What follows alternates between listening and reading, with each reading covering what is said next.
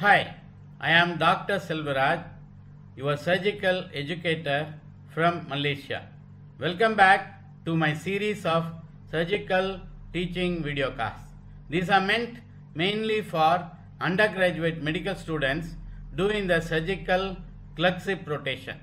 I promise you will become competent in clinical problem solving and surgical decision making if you are going to watch these videos over and over again. Today I am going to discuss one more image based question in hepatobiliary pancreatic pathologies. So our patient is a 72 year old man complains of severe itching all over his body for 6 weeks. He has been passing high color urine and pale color stools. His family noticed that he was becoming increasingly yellow in color. On examination, besides scratch marks all over his body, he has a smooth globular non-tender mass in his right upper quadrant. So these are the two images and these are the six questions. Question number one, what are the differential diagnosis to this clinical picture? Question number two, what you are seeing in figure A and figure B. Question number three, what is the most likely diagnosis and who are most commonly affected by this condition? Question number four, what are the risk factors? Question number five, how can this pathology be classified? Question number six, how can we manage this patient? So now I request my viewers to pause the video and try to answer all these six questions. After answering all these six questions, kindly verify your answer with the correct answers which I am going to discuss in the subsequent slides. So question number one, what are the differential diagnosis to this clinical picture?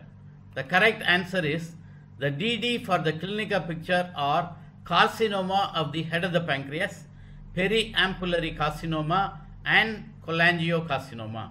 However, periampullary carcinoma present differently in that the jaundice waxes and wanes.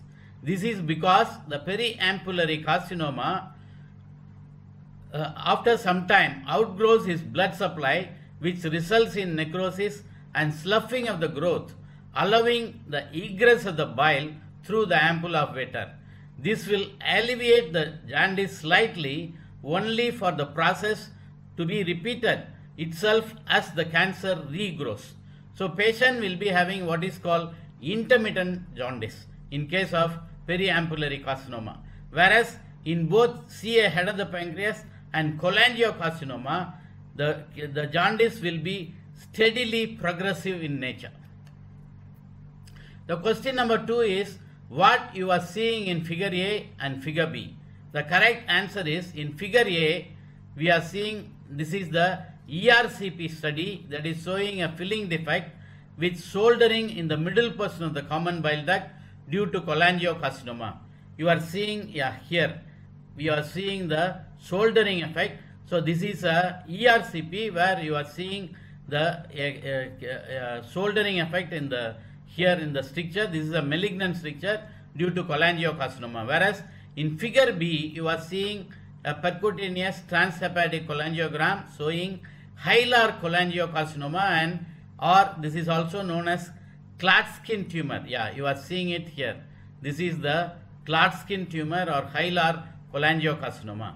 And you are also seeing a stent in the CBD for nasobiliary drainage. You are seeing this is the this is the stent you are seeing in this picture that is for to alleviate the jaundice for nasobiliary drainage. That's what you are seeing in this picture. So question number three, what is the most likely diagnosis and who are most commonly affected by this condition?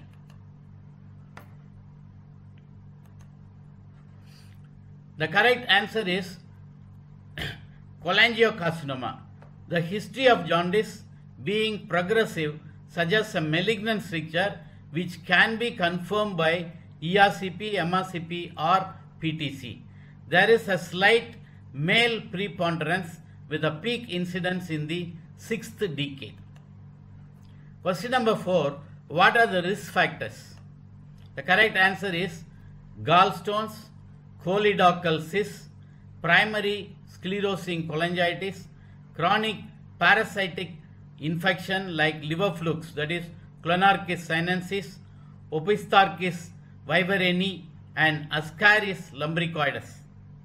Weak associations include bacterial induced endogenous carcinogens derived from bile salts and ductal calculi. Question number 5 How can this pathology be classified?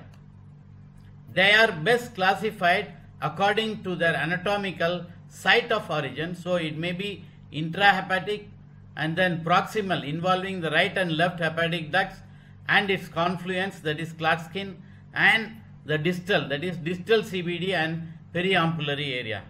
So the cholangiocarcinoma of intrahepatic bile ducts is known as Altimere tumor. The perihilar cholangiocarcinoma that is at the bifurcation of right and left hepatic ducts this is known as Klatskin tumor. So how can this pathology, there is an another classification of hilar cholangiocarcinoma or Klatskin's tumor. This is known as Bismuth classification. The type 1 involves, this is the type 1, this involves the common hepatic duct, spares the bifurcation. So this is involving only the common hepatic duct, no involvement of the bifurcation. Type 2 involves the common hepatic duct and the bifurcation also it is involved. This is type 2. Type 3A, the tumor extends to the right branch of the hepatic duct. Here it is involving the common hepatic duct and the confluence and then it is extending into the right hepatic duct.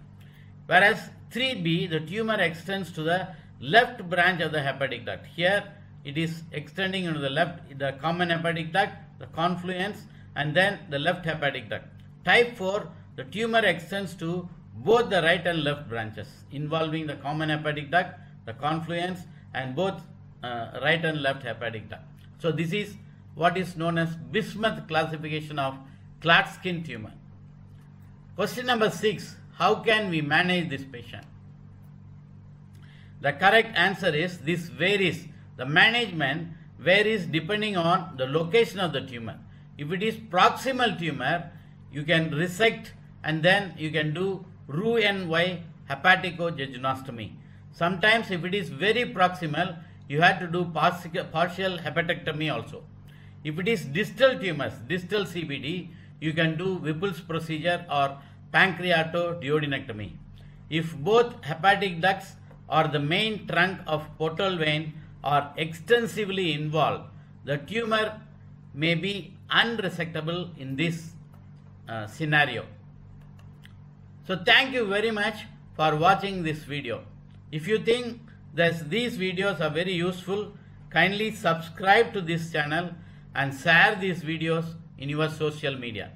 Thank you once again for watching this video. Let us meet in yet another video. Until then, bye bye.